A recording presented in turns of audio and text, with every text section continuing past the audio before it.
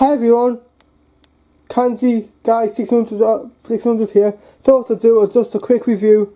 I'm in my bedroom at the moment of my Giantex 3.5kg, 750 RPM portable wash machine. Um, um, as you can see, it's quite compact in its size. It fits in this gap in my bedroom, so I can just put it in there into my bathroom, which is over there. As you can see, it's got as you can see, it's got the water inlet here with like a rubber band and a filter in there. That's got some instructions there.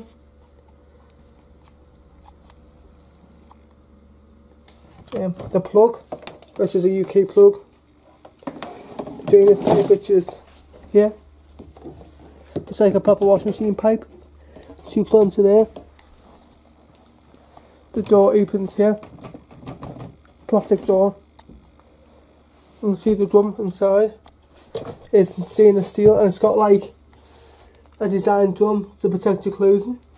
You see it's got the impeller at the bottom which washes the clothes and you can see it here is the filter, the filter like that you put down and it opens to collect any lint from your clothing. That just slots back in there. Like that. Um, I just one second guys while I just put the machine in.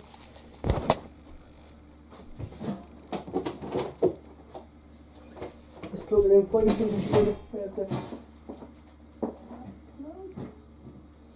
you. Back for it.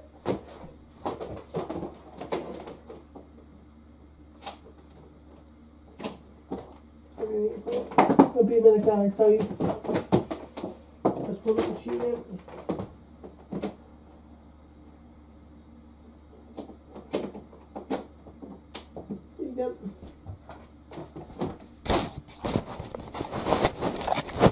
See about that guys, it's plumbed in now.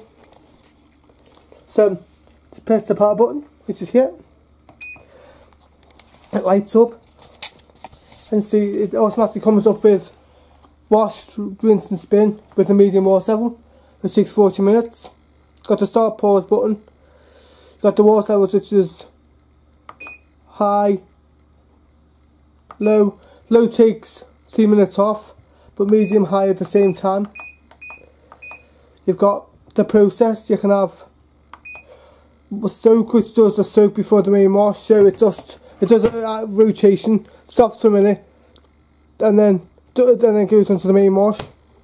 You can have just wash on its own, which takes 17 minutes. Oh, which still takes takes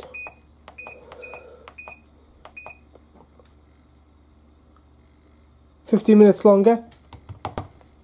You can have wash on its own, which takes 17 minutes. You have just wash and rinse, which takes 33 minutes. You have a rinse and spin, or just spending with six seven minutes. This machine is quite good. This machine doesn't have a uh, doesn't do a gravity drain. It actually has a pump built into the machine, and it is quite light to have quite, quite light to carry. It has two recessed handles either side, so easy to lift. So, just thought I'd just do a quick review of the machine. So. There more videos coming soon on my channel. Thank you for watching. Bye.